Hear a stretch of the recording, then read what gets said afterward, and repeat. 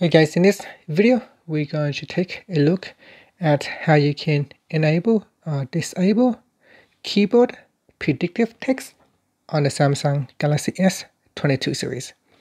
First, let's go back to the home screen by tapping on the home button at the bottom of the screen. And on the home screen, swipe down at the top and tap on the settings icon.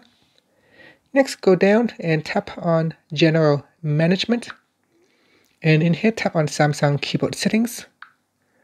Then go to the smart typing section and tap on the predictive text toggle button to switch it off or turn it on. And that's it. Once you turn this on, you can see that suggest text corrections also becomes enabled. And after that, you can tap on the back key to go back to settings or tap on the home button to go back to the home screen. And that's it. Thank you for watching this video. Please subscribe to my channel for more videos.